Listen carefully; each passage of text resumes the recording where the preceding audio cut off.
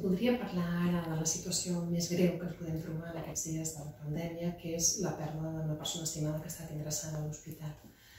El dol és tot un procés que hem de fer per, d'alguna manera, aprendre a viure sense la presència física d'aquesta persona que ha mort. Comporta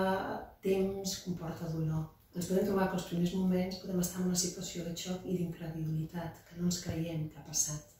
per després sentir moltes emocions, des de tristesa profunda, ansietat, podem sentir-nos culpables, podem sentir enfado,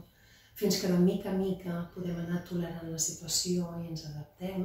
i l'acceptem i podem començar de nou a portar un ritme doncs, amb, sense la presència física de la persona, com he dit abans.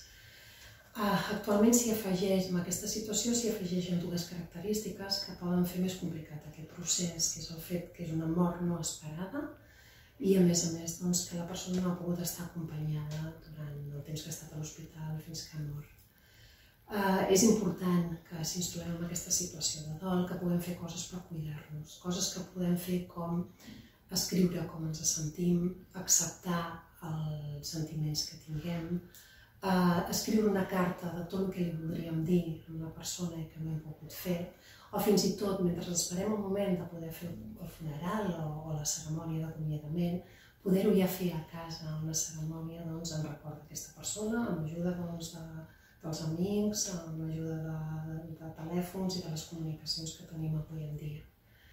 De totes maneres, recordar que el dol vol dir passar per tot aquest dolor,